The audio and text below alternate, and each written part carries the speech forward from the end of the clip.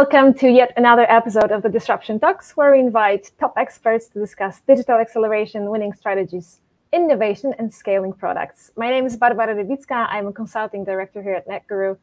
And today, the key topic will be crafting culture, nurturing excellence in product design. And our guest today is Robin Bigio, the head of design at Faire, with over two decades of experience in product design. Hi, Robin. How are you today? Good. Thanks for having me. Brilliant. Uh, Robin, I have to uh, start our conversation today with asking you where you are, um, because it looks, uh, uh your background looks really, really interesting. Can you, can we kick off with that? With pleasure. Yeah, I am on my uh, little sailboat that I have in Sausalito in the Bay Area. Um, and I use it on the weekend to sail with my family and during the week as my uh, work from home office or work from boat office. Okay, well, that, that, that sounds amazing. Uh, and I mean, I think it's uh, it's the most original office that I've seen, and definitely the only one that we were having a live podcast from. So, uh, so really, really uh, happy to see you there. And uh, Robin, maybe um, we could kick off our conversation with uh, giving a little bit of intro about your role at Faire, about your day-to-day um, work, so that everybody's on the same page, and then we dive a little bit deeper into the key topic for today. Yeah, with pleasure. Yeah, so I head up the design team here at Faire. Uh, I've been at Faire uh, since the company was about 100 people, about five years. Um, the design team is about 55 folks. Uh, half are product designers, and then we have a really strong uh, brand studio that does kind of marketing and um, uh, other other kind of branding initiatives um, across the org, partnering with sales and go to market. And then we have a strong research team. We also have a couple of other discipline design operations and content design on the team. And you know, I, I lead the team across a bunch of different uh, different dimensions. Mm-hmm. My journey here has been building the team from the ground up. When I joined, there were about seven designers, and so we've had we've seen a lot of a lot of growth. Um, and you know, I've been I've been as you said, I've almost 20 years um, uh, hand, hands-on designer. I actually started in industrial design, and as a consultant, I worked for many years for IDEO, and switched about 10 years ago, a little more than 10 years ago, in tech, mm-hmm. um, mm-hmm. and and kind of transition into you know digital products and and services and um, everything around it. That must have been an interesting transition as well. Um, at the end of the day, it's a design, so so I understand uh, uh, that the, the, disciplines are, are connected, obviously. And also, the team that you're running currently sounds like a truly multidisciplinary uh, product design team, including all of the um, fr- friends when it comes to the to, to the other disciplines or subdisciplines. And since we're discussing uh, crafting culture today, I'm wondering what is a team culture by yourself, by Robin Bigio? Yeah, how I think about it. I mean, I think ultimately, uh, I think team cultures are the combination of the values that the team holds and operates by, and then the rituals that you build to kind of reinforce, either create or reinforce those values. Um, they are, in my mind, foundational to a team's performance and happiness and doing good work because they shape how we show up at work, how we collaborate, uh, and therefore like the quality and and the way that we work. Um, and so investing in it and paying attention to it feels really important, and it's you know such a such a big driver for impact for a team, and obviously also for happiness, retention, creativity, inspiration. Um, so those are those are you know it's it's that's that's how I think about uh, team culture and why I've always felt um, was such an important component of building a healthy design team. Okay okay. It's it's definitely uh, one of those things that is not easy to be defined but then it's extremely important and extremely needed when when it comes to building uh, teams. And can you share some sort of a uh, important or defining moment in your career that uh, shaped your perspective to the perspective that you have right now that you've just shared uh, with us yeah, I mean, I, I think maybe um, uh, so. As as I shared before, I spent the first eight years of my career at IDEO, and I think that's a company that traditionally has always been associated with like very strong culture, very strong values. And so the the, the example that comes to mind, and, and I think that's where I learned the importance of it, and you know some of the tips and tricks or the investments you need to make for it. Um, one of the one of the episodes that comes to mind in terms of like a defining moment was um, about three years after I started uh, working at IDEO. I used to work in IDEO in Munich. Um, I moved to the IDEO London office, and it was shortly before the 2008 kind of recession and we ended up having layoffs at the company. I, I, don't remember exactly the numbers, but I feel like about half the company uh, was laid off. And to be honest, a lot of the kind of like more junior folks, as it sadly often happens, were let go, and a lot of the management team was left untouched. Um, and we, you know, the day after the layoffs, I think in there was definitely like bad vibes at work. I think the team was feeling very demo- demotivated where there was a lack of a, a, broken trust between the kind of i was obviously a hands-on designer at the time between the design community and the leadership community um, and it was it was pretty tough to to you know especially for a you know again a company and a culture that is really strong that is very creative very connected very playful it felt really strong uh, it felt very, it felt very hard um, and i started to notice that one of the most broken moments or where where the culture really came to life and how how much it was not working was our Monday morning kind of all hands. So we used to have the, the studio when I joined was about 70 people. After the day off, I think it was about 30 to 40. Um, and we would have a Monday morning meeting where the you know we would all get together and you know it was like announcements and updates and the pipeline of projects that were coming in um, and it was you know after the layoff it was pretty evident the kind of discontent and people were showing up late. They were kind of not paying attention. They're rolling their eyes. Um, and it, it was it was just like a, the maybe the most evident moment of where like the culture felt really broken. Um, and so I gave it a lot of thought. And I was I was very junior. I had joined the company, you know, two or three years. I was like a junior industrial designer at the time. Um, but I really cared about this stuff, and I ended up asking the leadership team if I could redesign the the, the Monday morning meeting. And I don't think they had a lot to lose, and I think they also realized that um, kind of giving it back in the hands of the design community would would make sense and might help. And so we ended up, I you know, I ended up kind of putting a bunch of thoughts together, getting a few people involved, and we kind of redesigned in a in a in a very simple way. Redesigned this meeting.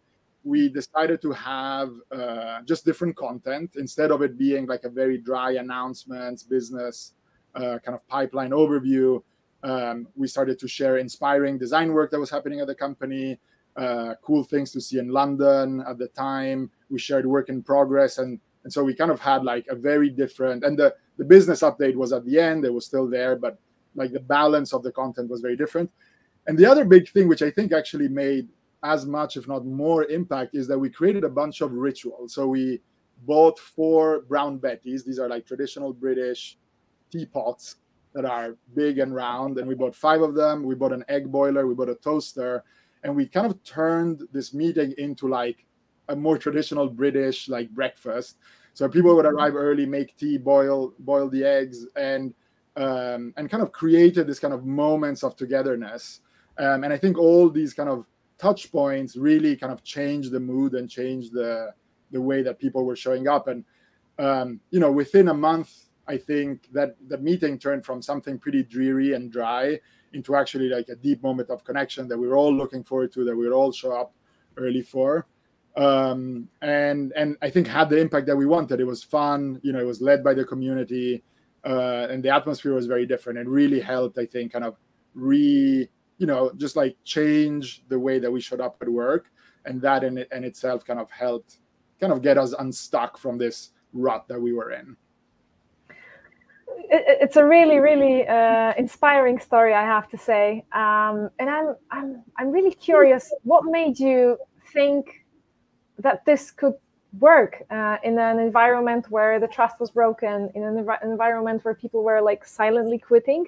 Because I think this topic is extremely relevant these days as well, especially when it, when we look at what happens in the tech world. I think I don't know if it would work. Um, but okay. I think a lot of uh, just like in our design work, I think same with culture and org stuff.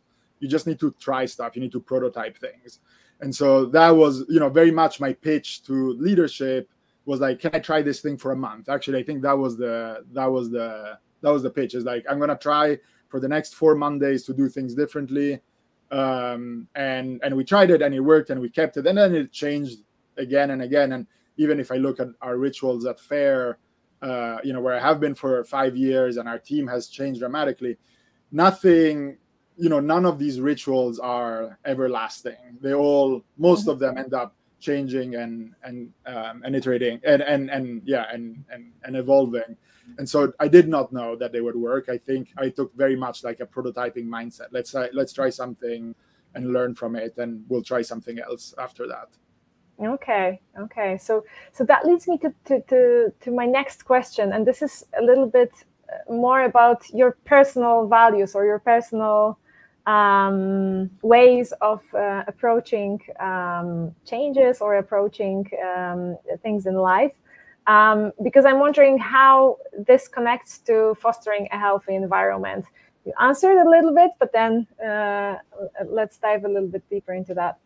Yeah, sure. I mean, I think ultimately, um,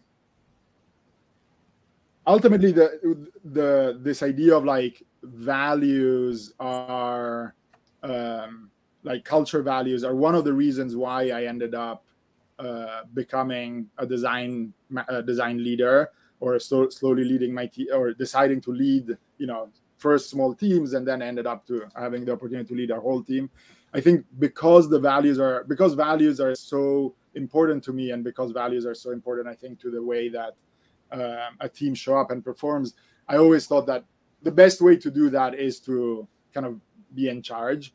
Um, and um, I think early in my career, I think because of IDEO and their strong cultural values, because of Good Eggs, which was the first startup that I worked for, that again paid a lot of attention, I took for granted that like culture and team values was something that would just come with the territory that they didn't need to be crafted um, but discovered through other job in other companies that actually that's not very that's not at all the case. And it's something that you need to like very um, very explicitly define work on and create uh, for yourself and for your team um, and so that that's a little bit I, I, why i ended up kind of in the role one of the reasons why i ended up in the role where i was i was you know working for other people or working in teams where i didn't feel like the culture was right and kind of mm-hmm. spurred me to try to lead the way in that way Okay, okay.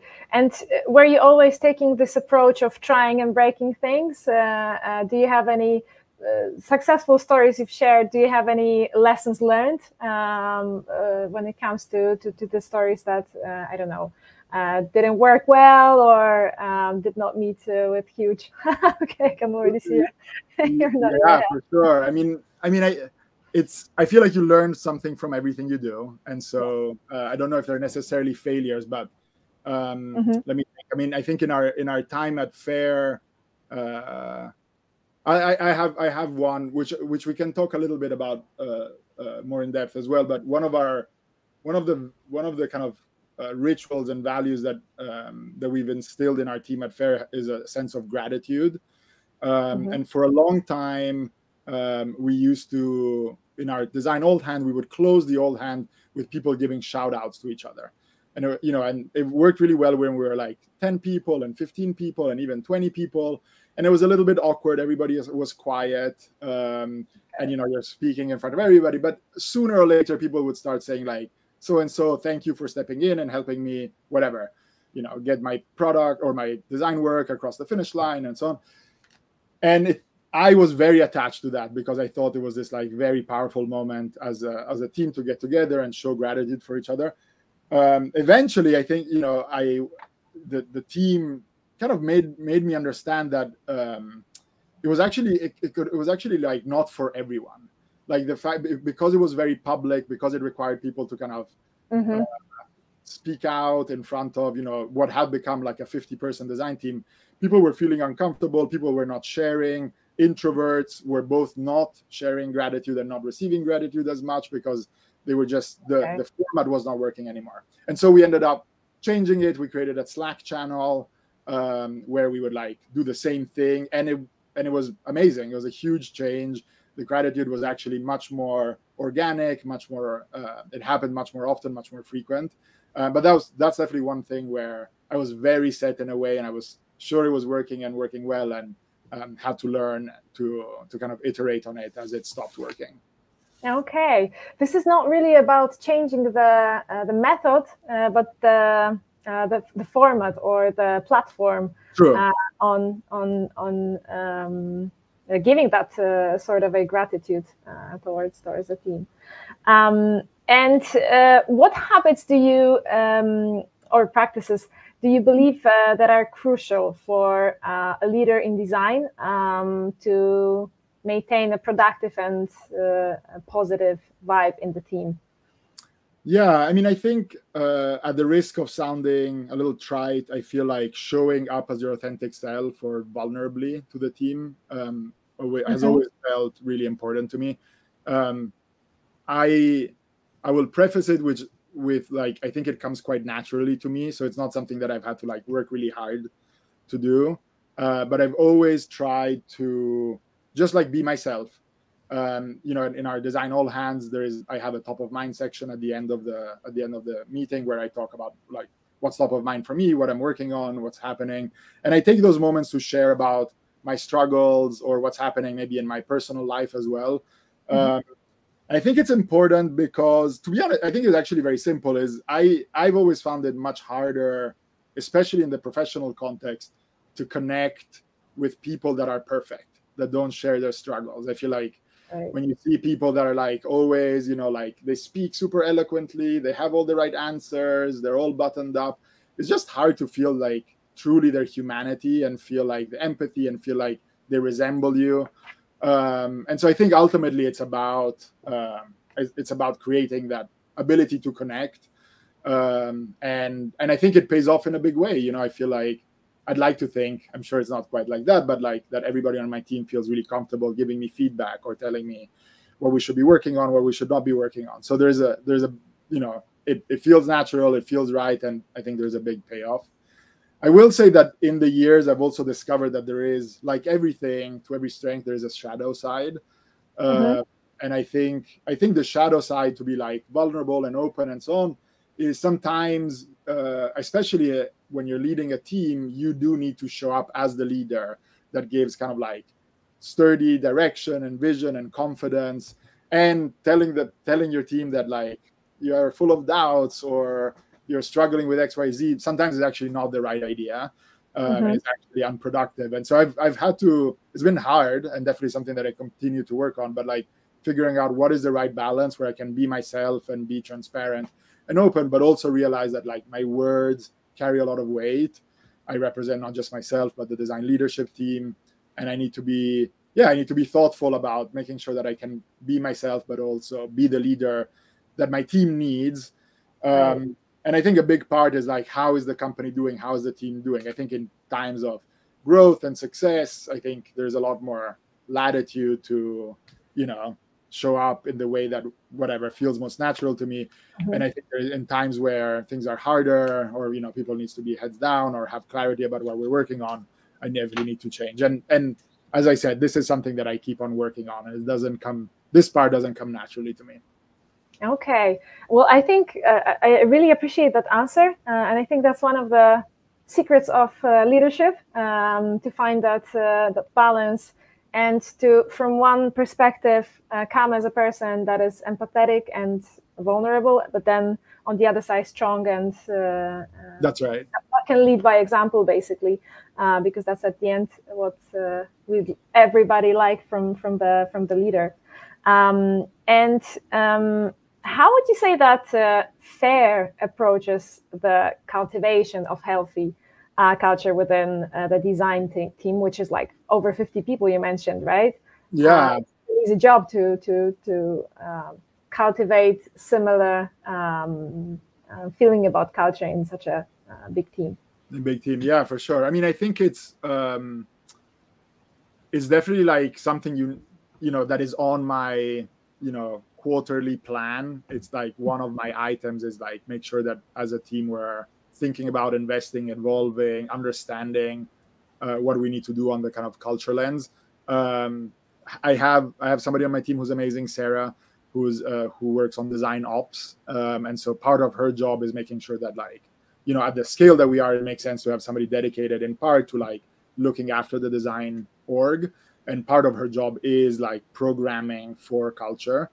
Um, and together with her, and in the past, even before she joined, we just spent a good amount of time. Um, we do kind of user research like you would for a product. We spend time interviewing our designers one on one in my skip levels or in like sometimes we do kind of like group conversations where we don't have managers or myself um, to just make sure that we're always understanding what the team is needing um, and so that we can keep on investing in the right programs and tools um, one one thing you know before we were chatting about um, i was sharing how some of the rituals or things that you put in place to create and maintain culture over time usually it changes. I think we have one thing that has been a constant for the past four years at Faire um, which is a really fun um, which is a really fun practice that we do a ritual that we do which is we call it top five. So this is um, it's a presentation that everybody on the team has to give when they start at Faire and eventually you end up giving it a couple of times. And okay. it, it's the opening act to our uh, now monthly used to be bi-weekly used to be weekly all, team all hands. Um, and it's basically a presentation where you get to do a top five anything that you're interested in. It could be top five inspiration top five recipes top five we've had every topic. So it's a very accessible format um, mm-hmm. where different people on the team will present to the to the org um, and usually their presentations are beautifully crafted, highly inspiring, um, and really, really powerful. Um, we had, you know, people do like four truths and one lie, and kind of engaging mm-hmm. the audience. Okay. Um, I ended up doing like my five most embarrassing professional moments uh, that I've ever had, which were okay. pretty pretty bad. Um, and I think it's it's so I think it's it's been very long, very long lasting for a bunch of reasons. I think first of all the format, as I said, is really easy. And so even though you know we have researchers, we have design ops, we have all sorts of different people on our team that are uh, you know some of which are designers, some of which are not. Everybody can figure out what is top five things that they're excited about, passionate about. Um, I think it's a moment of deep inspiration, like the variety of things that are shown from people that love scuba diving to shooting drone footage. It just is that it's like a very easy way to bring inspiration to the team and get them to think outside of like their day to day and then maybe most importantly is a moment of like deep connection so you know people are telling the the team and sharing with the team what they're passionate about we do this virtually on zoom and the chat is like going wild with like right. questions and uh, we have all these um, like slack sub communities that get mm-hmm. created mm-hmm. people discover that like they're really into scuba diving too, or there's like really into DIY home project, and so they end up creating kind of uh, sub Slack communities. And so it's been uh, it's been like one of the kind of consistent rituals that have really I think held the team together. Um, and the, the last kind of unintended side benefit is that we record all of them. And so when you join our team, uh, it's a really easy way to get to know your colleague. We have a long library where everybody's top five is there, and it's like a really fun place to um, to just like get to know your teammates and learn about everybody's passion. And so that's been really a cornerstone, I think, of the team culture that we've we've persevered on. Oh, that sounds amazing. That sounds like a library of uh, interesting hobbies uh, for the whole team. And uh, is it is it difficult to maintain it, or is it is it natural for you at, at this at this point? I think it's very natural. I think the okay. um, it's very stressful for everybody, including myself. So like people, especially when you join, you we don't ask you right away to do it. We usually wait, I think, a month or six weeks before we ask you to do it. Um, so uh, there's definitely it's definitely a little stressful, but I think it's okay. Like I think everybody understands that they it's important. It's important to give back. It's important to do your part. Um, and then all of the all of the logistics around it are very straightforward. Like we you know we record the meeting on zoom and then we have a we use loom for a lot of async collaboration and and so the library is in there and in all of the onboarding docs. So we've we've systematized it um, where the the kind of tactical part operational side is very easy. Okay. Okay. Perfect. Sounds really really interesting.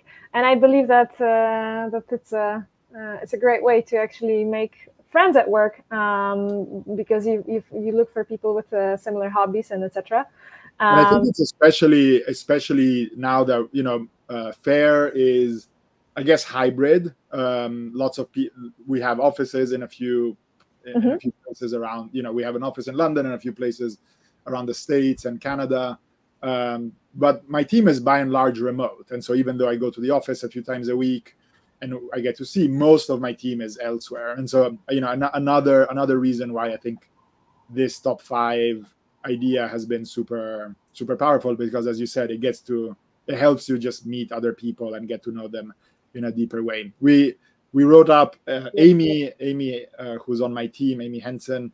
Um, who was the original ideator of the format, um, wrote a really good blog post on. We have a we have a team blog called The Craft where uh, the kind of EPDD discipline write about their teams, their craft, their work, and so on. And we have a really good article that kind of explains the the history and some example videos in there. So if folks are okay. interested, and um, some of them are are funny. Okay, brilliant. I bet. Uh sailing was one of your five. Uh, it wasn't actually, not yet. okay, okay, there you go. And um, speaking about this successful um, example of building culture, I'm wondering if if you can name or discuss any challenges as well um, that you faced at Faire, um, and how you know cultivating and building teams culture um, contributed to overcoming the, such a such a challenge. Yeah for sure. I mean i think um, i think one of the one of the things that comes to mind is um, where I, I, spoke before about gratitude and and maybe i'll give you the story of how that came to be. I, um, Faire i think like most tech companies uh, the work is really hard. Like we have long hours we grind it out. Um, you know we we are our team is structured. We have kind of like cross-disciplinary team with product design and uh, and engineering. We have about 25 teams everyone is running in parallel. Uh, we try to you know find moments of collaboration and so on but by and large everybody has like their track of work their milestones their kind of objectives their metrics that they're trying to move.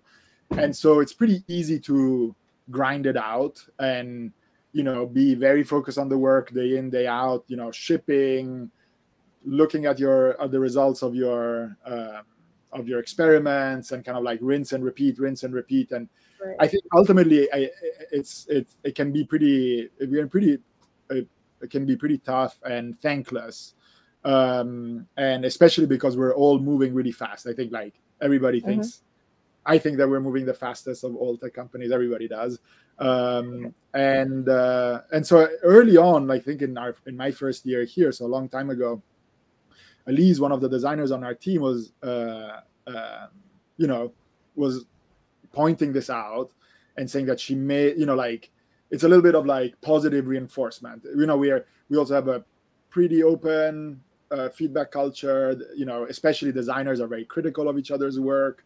And so we're always like, you can make this better, you can make this better. Have you thought about this? You should push this part.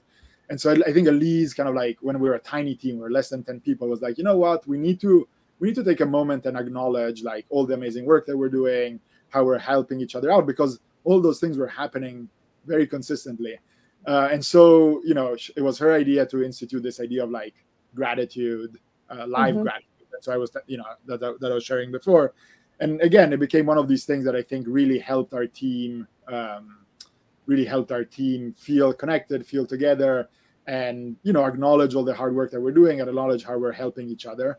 Uh, and became you know something that we did you know at the time was every week live in our all hands when our team was tiny, and now is you know on Slack at scale. Um, but has you know it's it's been a really powerful thing that was definitely designed to uh, to counteract or counterbalance kind of one of the challenges that we were facing as a team.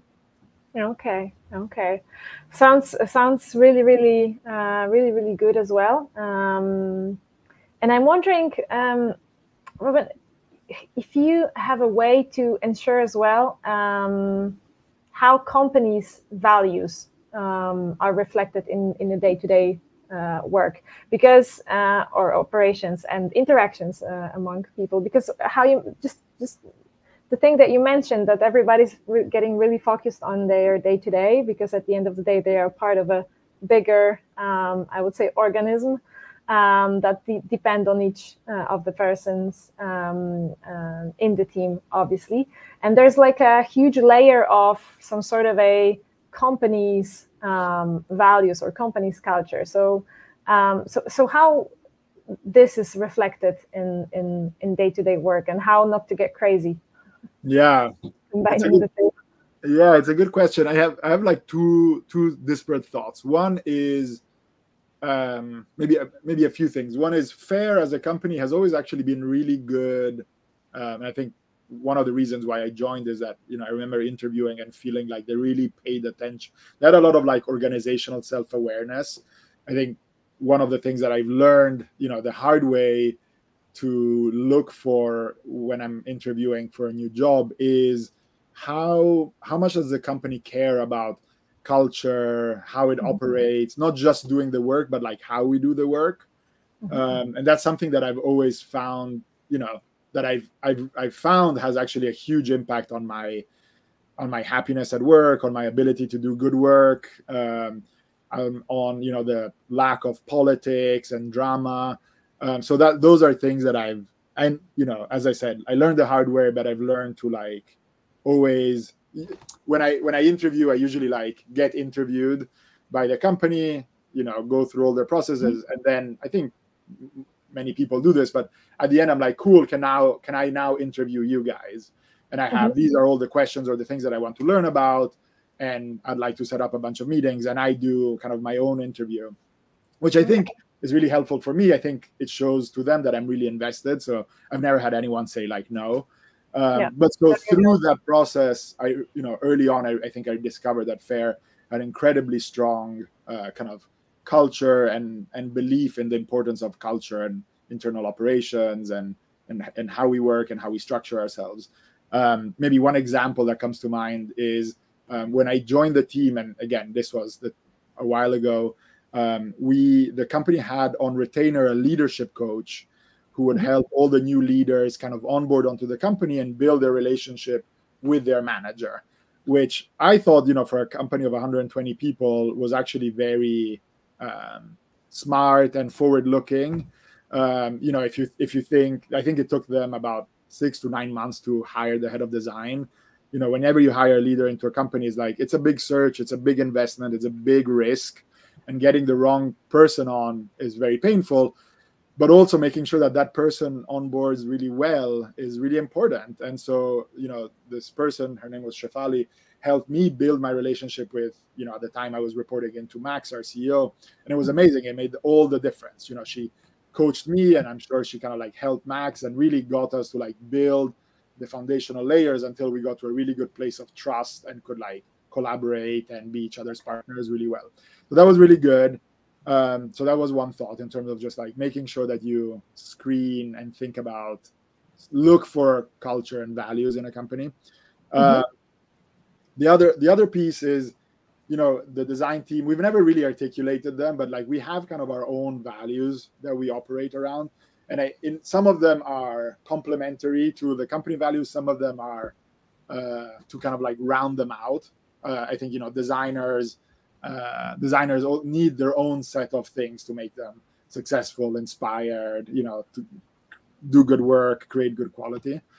Um, and and so that has been that's always been on my mind you know all along as i've you know built a team built a culture i've always thought like which parts of the company values do we take in and do we abide by which parts do we need to kind of create a version um, for ourselves um, but at the highest level and this is early on in in kind of like the design team's journey the main way that we've made sure that like we've we've maintained or reflected the company value has been through hiring and so mm-hmm. we've had always we we created we're actually the, i think the first team i like to think we are the first team at Faire who created a citizenship interview and okay. as part of our as part of our um, as part of our interview process that was exclusively designed to understand the person's values um, and make sure that it was you know compatible complementary uh, additive. You know you also want to be careful not to just hire the same per same type Absolutely. of people and um, to our own and um, and make sure that those two things and so and, and make sure that we were hiring people that felt complementary and additive to our culture. That's because that's one of the biggest piece. We've also um, we also have a lot of silly stuff. Some some silly like we have slack emojis. So the company has four four i think four values um, that are kind of cemented that we have val- we used to have value awards once a year around. We have like slack emoji reactions for them.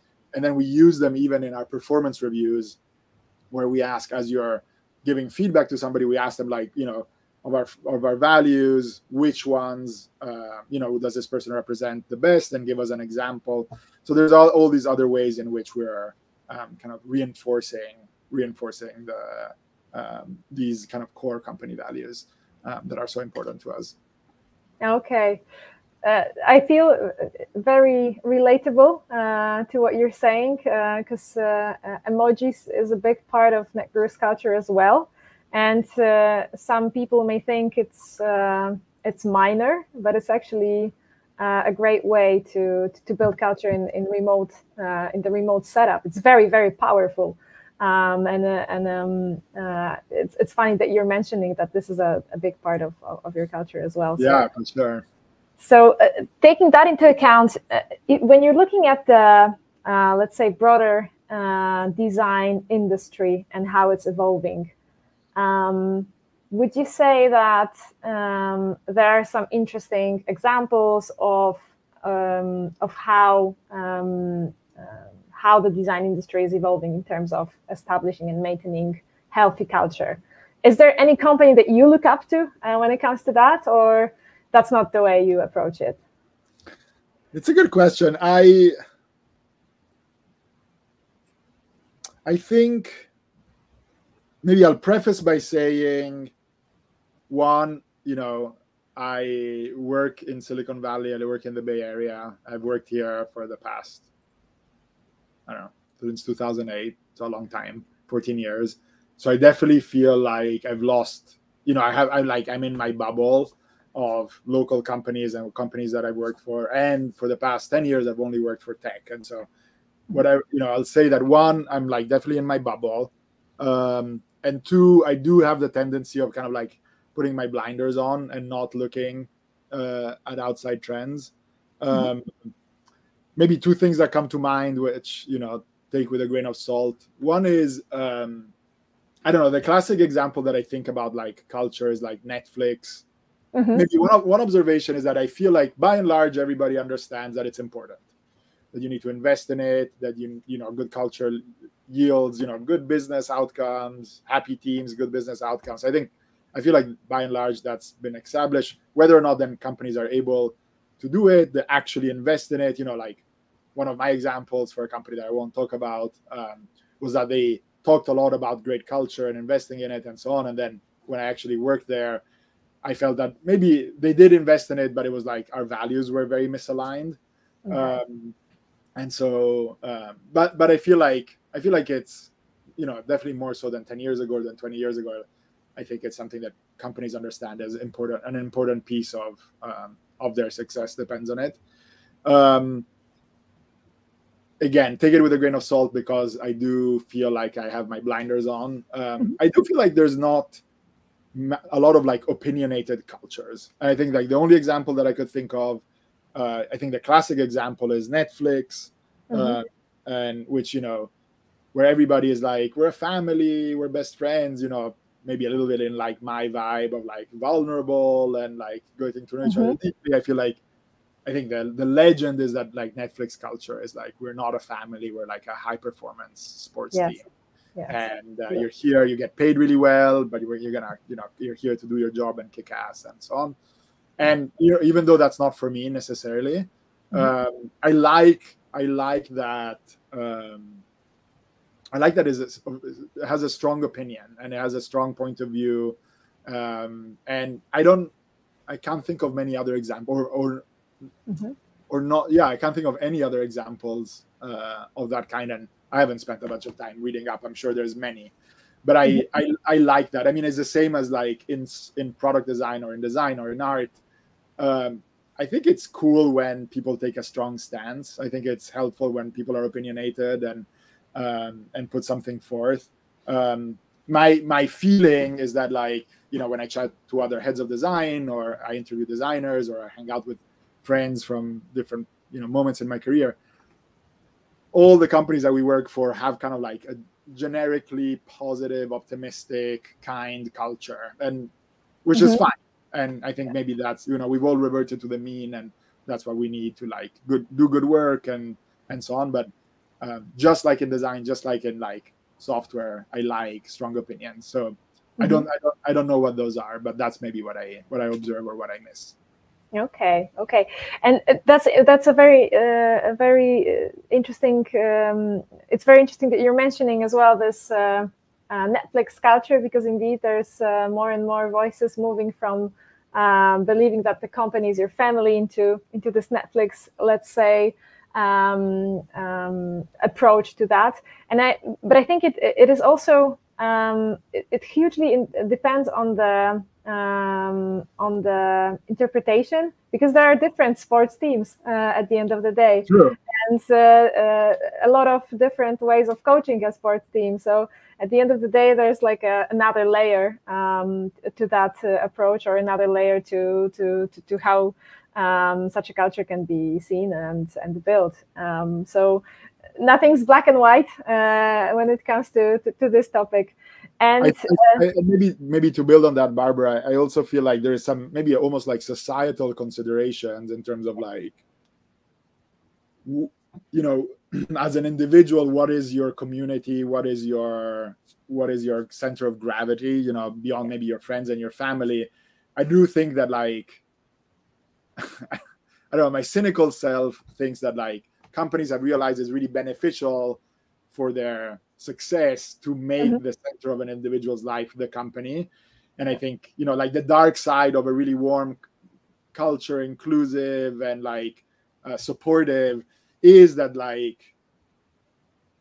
you know people end up having all of their life revolves around work right, um, right. and uh, and so and so I, I agree with you that like there's different approaches and I, th- I, I think you're right that there's different people that are challenging challenging like what is the right right balance. And i think one one consideration is like almost like as i said societal which is like how do you want the individual to feel? How do you want them to think about work and what role work and their colleagues and the office plays in their like overall life? And um, i don't know what the right answer is but it's definitely something that i think about myself absolutely and i think also you know uh, the recent years changed a lot when it comes to how people work as well. Um, totally. Obviously, uh, we're living in post-epidemic times, um, and I think that was a huge, huge, huge change for the um, um for the working environment. And uh, and when it comes to that, because it, it becomes an industry-wide trend in the discussions, um, uh, for instance, remote work or, or diversity. And uh, what role do you think these things play in shaping the culture of of of the team of the design team specifically? Yeah i mean i think huge both of them. I mean focusing on just like uh, the remote and the diversity piece. Um, i think i mean we chatted a bunch of a bunch of examples about how you know we've had like how how our remote our remote teams have had to adapt rituals and you know get to know each other reinforce values um, in, in it's funny in some ways well, we've had to work much harder to make sure that mm-hmm. we felt connected, that we felt like we had shared shared values um, and kind of like a coherent or consistent or unif- um, unifying culture. Um, I think what I found, to, to, be honest, you know, I think on one side, in, in a remote environment, it's harder uh, to feel connected with your with your colleagues and, and so on. And so I think it's important for teams to get together periodically. We um, at Faire on the design team, we for the past two years we've done a design summit where we all come together in the summer uh, for three days, and we have like a lot of fun programming and, mm-hmm. and so on, and just just to spend time. But the, the thing that I was going to mention, like one of the one of the pieces that I found most surprising about the remote world is that it, it has actually made a, a, bunch of the touch points. I think the Slack emoji example was a good one, but a bunch of touch points um, actually almost more powerful or more effective around culture. Like I think our design all hands, all hands, and definitely our company all hands are much better uh, virtual than they were in person, mm-hmm. which is kind of like very in my mind counterintuitive. And and yeah. we try at Faire to do our company all hands maybe once a quarter in person. And it's just like not as good. Like I think because we're a distributed team, because we have people everywhere, when we're all when you level the playing field, we're all showing up on Zoom. The mm-hmm. chat is really fun. We have a DJ. We like we it's like a big production. It's really fun and exciting and it, it really works. So anyways, I think back to your question, I think like remote is a big is a big piece in terms of a big consideration and it's obviously becoming an even bigger consideration for people as they're thinking about changing jobs and where they want to work. Um, and then on the diversity piece, um, I mean, I've I I think I, I learned the hard way uh, how important that is. And one, I, I realize it's a marathon. It's something that you need to keep on investing in, um, and it's and and it's like the work. The work never stops. Um, and I I experienced very early in my career when I built my first design team at Good Eggs, very clearly like the downside or the importance of it. I kind of inadvertently had hired I think our team was about 10 people, and we were all exactly the same. We all had exactly the same values. We all were there thinking about the world. Like we came from different, from similar backgrounds. We had done similar jobs before. We were, we interpreted the company mission in a very similar way, and it was great. We had the best time, and we were really uh, good and, and united. And I thought we were producing good work until we hired somebody that had like a very different perspective. They came from a different world, they had a different lens on our mission and on the work to be done. And I remember when this person joined the team and started challenging a lot of our thinking, just like how much better our work became instantly. Hmm. Um, mm. It was and was, and and and I think that was like so. It was just so obvious and clear, just because just like the work became better and the conversations became better. And so you know, back to like how important it is um, just like that difference of perspective will make your your yourself and your work and your team's work so much more powerful okay okay that's an interesting take as well but i think at the end of the day if you ended up hiring that person that's exactly what you were looking for uh, in a way as well because as you mentioned the culture is built in the recruitment as well so totally.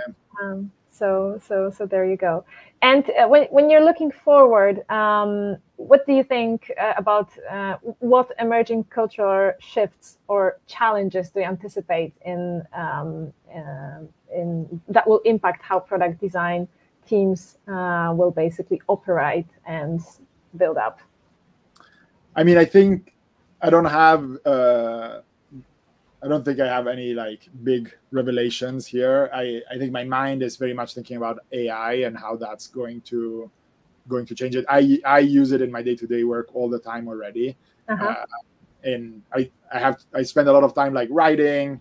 I re- just rewrote our career ladders, and you know, ChatGPT was incredibly useful.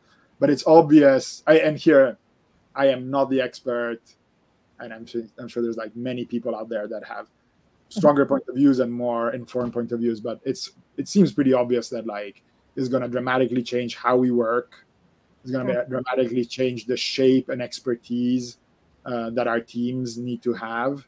Mm-hmm. Uh, and I think consequentially is going to change how our team is structured, how big our teams are, and therefore I think is going to change kind of like our culture and the culture that you need to create um, to kind of support it. I think the the if it seems that the the the kind of repercussions or like the changes that are coming as more tools come out, as more designers adopted, as more companies integrated are, and are going to be pretty fundamental and and it, it'll be it'll be naive not to think that it's going to really impact a design team and and its shape its culture its values.